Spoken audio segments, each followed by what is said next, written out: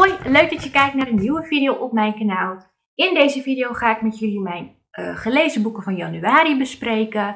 Ik heb zeven boeken gelezen en um, ja, ik ga dus gewoon eventjes vertellen um, uh, wat ik van deze boeken vond. En uiteraard vertel ik ook wat meer over het verhaal.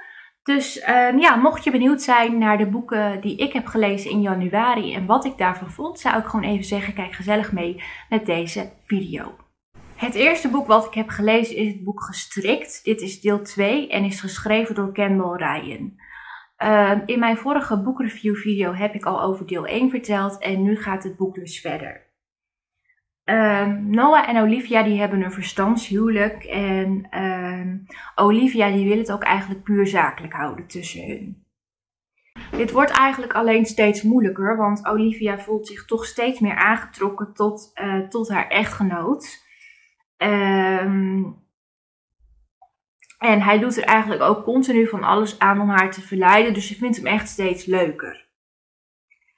Um, de grote vraag is eigenlijk hoe lang Olivia zich aan haar voornemen kan uh, houden om het puur zakelijk tussen hun te houden. Um, want eigenlijk als zij thuis komt na een lange werkdag, dan is het heel vaak zo dat Noah al gekookt heeft. Dat ze samen aan tafel zitten. Dat ze gezellig samen de avond doorbrengen. Um, ze delen ook wel samen een bed, want er is maar één slaapkamer. Um, alleen ook op dat gebied wil ze het puur zakelijk houden. Maar het wordt voor haar dus echt wel steeds moeilijker om dat um, te doen. En um, ja, uiteindelijk wil ze zich toch wel een beetje toegeven ook aan de lust die ze voelt. Dat ze denkt van, nou ja, weet je, ik ben toch getrouwd, wat maakt het ook uit? Ook al zou het maar voor tijdelijk zijn. Want ze weten eigenlijk niet of ze voor eeuwig getrouwd blijven. Want hun zelf zijn eigenlijk ervan overtuigd dat ze niet voorbestemd zijn voor elkaar. Uh, ik ga ook gelijk verder met boek 3, want daarin hoor je hoe het verhaal verder gaat. Nou ja, het zal je niet verrassen, het volgende boek is dus deel 3 en heet ook weer Gestrikt. Ze hebben allemaal dezelfde titel, dat is een beetje raar. Geschreven door Kendall Ryan. Um, inmiddels um, zijn um, Olivia en uh, Noah wat dichter tot tot elkaar gekomen, ook op het intieme gebied. Alleen het grote probleem is dat er in de kleine lettertjes van het huwelijkscontract stond dat, er, uh, dat ze een erfgenaam moeten krijgen. Noah heeft die lettertjes wel gelezen, maar Olivia niet. En hij weet eigenlijk niet of dat Olivia het wel of niet gelezen heeft. Dus dat blijft een beetje een groot punt tussen hun in. En hij weet niet of hij er met haar over moet beginnen. Op een gegeven moment wordt het hem duidelijk dat Olivia wel degelijk die kleine lettertjes niet heeft gelezen. En hij is ook bang dat als hij erover begint, dat Olivia het huwelijk meteen zal beëindigen. Hij is inmiddels ook echt verliefd geworden op Olivia.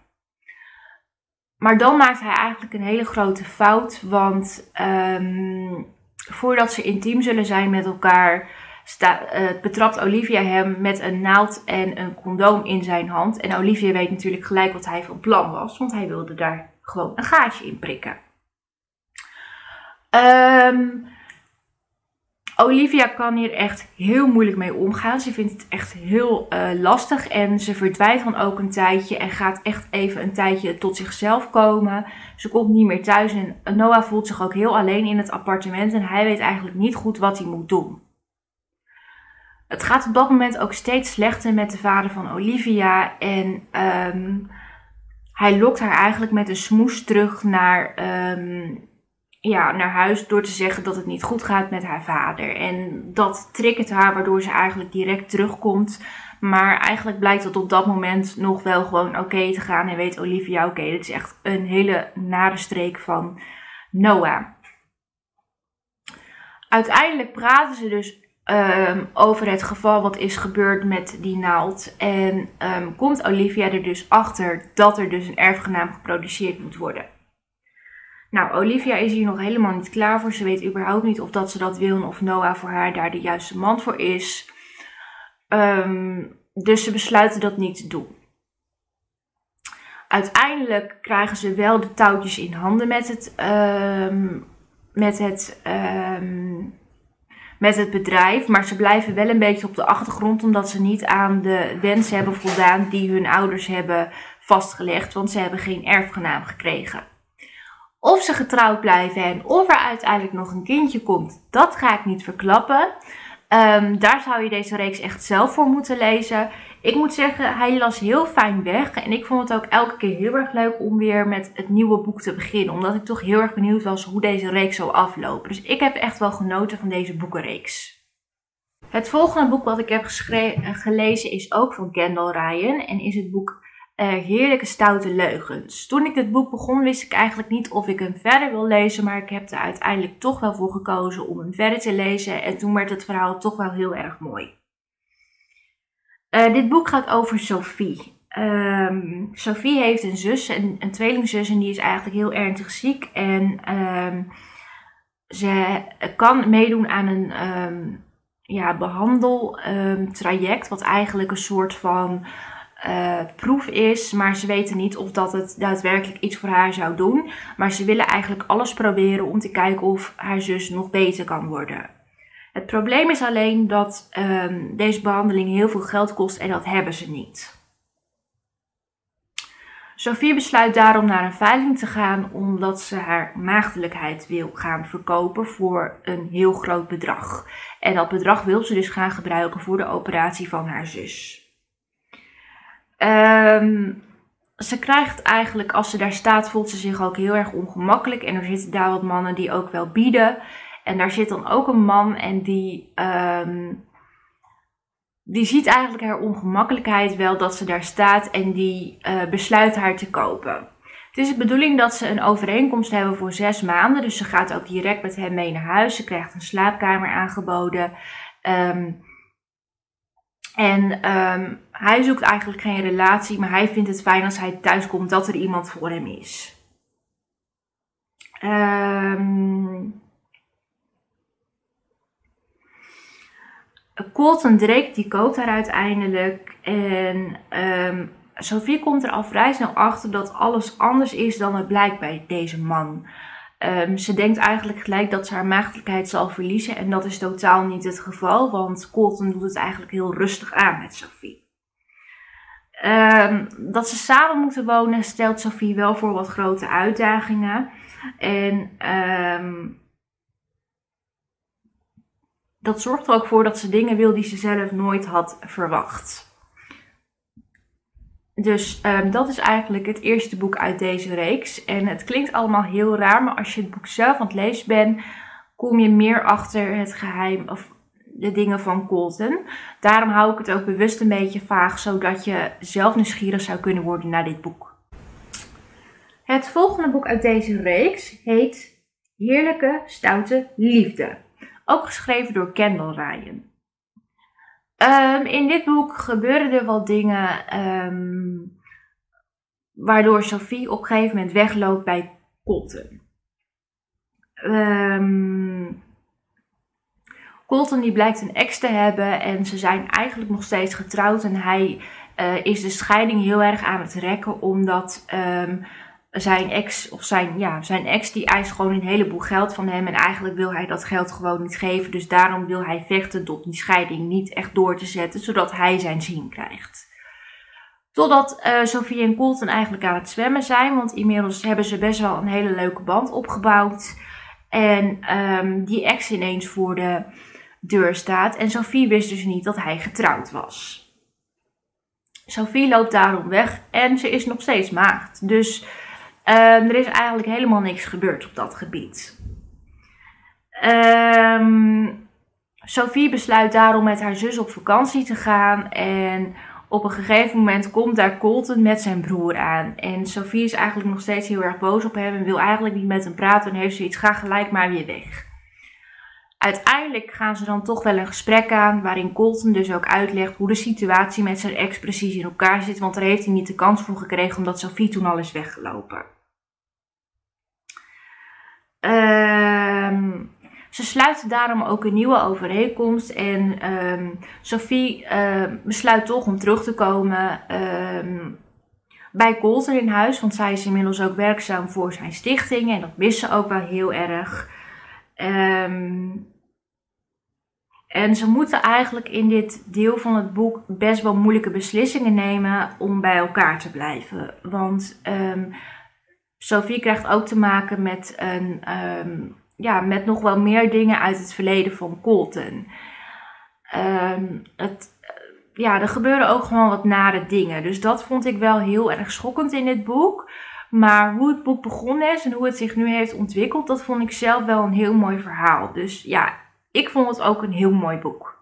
Het volgende boek is uit dezelfde reeks en dit boek heet Heerlijk Stoute Begeerte, geschreven door Kendall Ryan dus. En dit boek gaat over Pace Drake en dit is de broer van Colton. Ehm, hij heeft eigenlijk vooral altijd een beetje uh, losse scharrels en doet eigenlijk niet aan vaste relaties. Tot hij uh, Kylie ontmoet. Kylie is een alleenstaande moeder met een zoontje en werkt voor de stichting van Colton. Ehm, hij heeft zelfs voor haar een uh, hele verdieping laten bijbouwen aan haar huis, zodat ze vanuit huis kan werken en ook voor haar zoontje kan zorgen. Op een barbecue heeft P zich bekommerd om het uh, zoontje van Kylie en had hij eigenlijk een hele leuke band met die jongetje gekregen. Um, maar Kylie is eigenlijk haar vertrouwen in de mannen kwijtgeraakt. Want uh, haar ex heeft haar verlaten op het moment dat uh, zij zwanger was. Uh, hij wilde eigenlijk dat zij het weg liet halen, maar ehm, zij heeft gekozen om het kindje te houden. Um, ze mist de intimiteit wel, maar ze wil eigenlijk haar hart ook niet openstellen voor een uh, jongeman die er bekend om staat dat hij het niet zo nauw neemt op um, ja, het gebied van intimiteit. Hij leidt daarin best wel een losbollig leven. Uh, wil eigenlijk toch bewijzen dat hij een hele goede man kan zijn voor Kylie. En gaat op een gegeven moment gewoon bij haar langs en neemt gewoon allemaal speeltjes mee voor het jongetje en een zwembadje. Het is midden zomer en ze hebben eigenlijk een hele leuke middag. Vanaf dat moment spreken ze wel wat vaker af. Um, maar Kylie houdt toch wel de twijfels of, het, um, ja, of dat allemaal wel gaat werken. Um, dan komt er een moment dat Kylie uh, niet. Uh, Kylie die breekt haar arm en die kan daardoor niet alleen thuis zitten en de zorg voor haar zoontje hebben. En P zegt: Je komt bij mij logeren. Nou, dat doen ze ook. Hij laat, uh, hij laat het. Het huis is natuurlijk niet gelijk kindproefvrij, maar ze hebben het eigenlijk heel gezellig. Pees gaat werken. Ze hebben het heel gezellig als hij terugkomt. Ze hebben samen een beetje de zorg voor haar zoontjes. Dat gaat eigenlijk heel erg fijn. Tot het moment komt dat de ex van Kylie weer contact opneemt en hij toch in één keer zijn zoon wil zien. Um, Kylie twijfelt heel erg, maar wil haar zoon eigenlijk ook toe, uh, wel dat haar, dat wil toch dat haar zoon ook zijn vader leert kennen en gaat daarom op het aanbod in. En dan komt Pace thuis uit zijn werk en is Kylie vertrokken. Ze is terug naar haar eigen huis gegaan. En dat zorgt toch wel voor heel veel verwarring. Uh, heeft inmiddels eigenlijk gewoon zijn zinnen gezet op Kylie en wil kosten wat het kost een leven met haar. Maar Kylie heeft dus ook nog de twijfels of dat ze misschien toch weer terug met haar ex moet samenkomen, omdat het misschien beter is voor haar zoontje. Hoe dit precies afloopt, dat ga ik niet vertellen, maar ik kan wel zeggen dat ik het een heel mooi boek vond. Um, af en toe ook wel wat warrig, maar ik vond hem ook wel heel erg mooi. Het volgende boek komt ook nog uit deze reeks. Dit boek heet Heerlijk Stout voor Eeuwig van Kendall Ryan, uiteraard. Dit boek gaat over Colin Streek en dit is dan weer de broer van Pace en Colton. Um, hij is best wel een succesvolle man. Hij heeft een vriendin, zij is een topmodel, maar eigenlijk um, vindt hij de laatste tijd niet echt meer de lust bij haar en hij heeft ook steeds meer het idee dat de relatie niet echt ergens heen gaat. Um, op een dag staat ineens zijn vroegere uh, vriendin op de stoep. Ze gingen vroeger heel veel met elkaar om totdat zij verhuisd is. En toen hebben ze eigenlijk het contact met elkaar verloren. Ze hebben ooit een belofte aan elkaar gedaan toen ze tien waren. Als we op ons dertigste nog niet getrouwd zijn, dan gaan we met elkaar trouwen. Um, Mia die um, ja, is eigenlijk nog steeds single, net 30 geworden. En ze dacht, waarom ga ik de kans niet gewoon wagen en zoek ik uh, Collins op. Ze staat eigenlijk onverwacht bij hem op de, op de stoep. En ze merkte wel gelijk gewoon dat de klikte weer was. Dat ze gezellig dingen hadden om bij te praten. En hij nodigt haar ook uit om binnen te komen. Ehm, totdat zijn vriendin thuis komt. En Mia eigenlijk vraagt van ja wie ben je? Ja ik ben zijn vriendin. Dus Mia die wist eigenlijk zakt de moed een beetje in haar schoenen. En dan zegt ze ook nou ik ga er wel weer vandoor. Maar Colin staat erop dat ze een paar dagen bij hun blijft logeren. Um, Collins merkt wel dat hij de, aan, uh, de aantrekkingskracht met Mia gelijk weer heel erg voelt.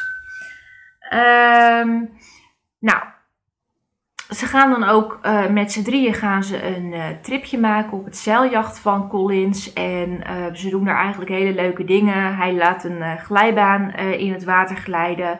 En ja, Collins en Mia doen hele leuke dingen, maar de vriendin van Collins die blijft eigenlijk een beetje achter, want die wil alleen maar bruin worden en liggen in de zon, want dat is goed voor haar modellencarrière. Um, Mia die heeft op een gegeven moment eigenlijk toch wel door dat, ze, dat er nog steeds wel de aantrekkingskracht is met Collins. Maar dat ze eigenlijk denkt dat ze hem helemaal niet meer kan krijgen. En heeft op een gegeven moment zoiets, nou ik ga maar weer terug naar waar ik vandaan kom, want dit gaat hem niet worden. Collins is hier fel op tegen en um, dan komt er een moment dat de vriendin van Collins weer eens afhaakt. Want Collins heeft een belangrijke bespreking in het buitenland en dan zegt zijn vriendin, ja maar dan ben ik op fotoshoots. Dus ik ga niet mee. Collins heeft hem inmiddels ook wel aangegeven dat hij een time-out wil. Omdat hij met uh, haar om tafel wil nadat ze uh, allebei terug zijn van hun reis. En besluit Mia om mee te vragen uh, naar zijn zakenreis. Want um, ja, de vrouw van um, de man met wie hij een bespreking heeft is er ook bij. Dus het zou fijn zijn als iemand uh, met haar kon ja, praten terwijl de mannen zaken deden. Dat verloopt eigenlijk allemaal heel erg goed. En terug in, um, ja, als ze terug zijn van die trip, besluit Collins toch om de relatie met zijn vriendin te breken. Verbreken. Hij is alleen nog niet toe aan een relatie met Mia. Dus um, ja, of die relatie er überhaupt komt en welke hobbels ze moeten nog doorstaan.